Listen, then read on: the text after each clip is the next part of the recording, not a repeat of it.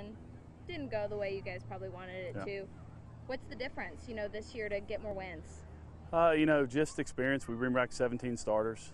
Uh, probably one of our best off seasons ever. Um, had a really good spring with spring football. Had a great summer, good camp, and you know we're just uh, ready to live back up to the expectations we have for ourselves at Hidden Valley. And you know what was specific about the off season that you know made it the best off season you've ever had? It's just one of those things where as, as kids get older and, and they mature and you get to bring them back, there, there's more of a focus on how important everything outside of August to December is. Um, and I think it's really started to click with, with this group of kids. Just today, it looked like the pass game was pretty dominant. Is that something you guys have been really trying to capitalize on, or is that just how No. you know the ball was moving today? Yeah, it's just we want to be a balanced football team. We want to play good defense, and, and fortunately, so far today, we've done that.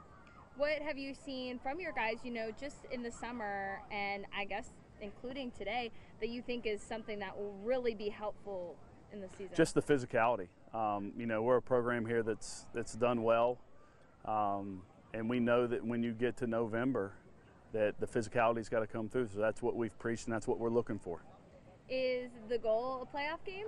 Oh, year? absolutely, absolutely. You know, we were in the playoffs last year and lost in the first round, um, but you know, we just want to continue to take those steps as a program.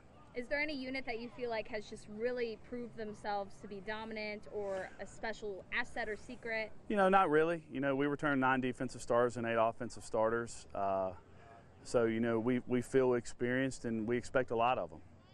And what do you think is the most surprising part about this team that people don't know? Uh, you know, really not not a whole lot of anything. We're going to be a Hidden Valley Hidden Valley football team, and hopefully, we're going to be blue collar. and We're going to do things right on and off the field and in the community, uh, and give them something to be proud of.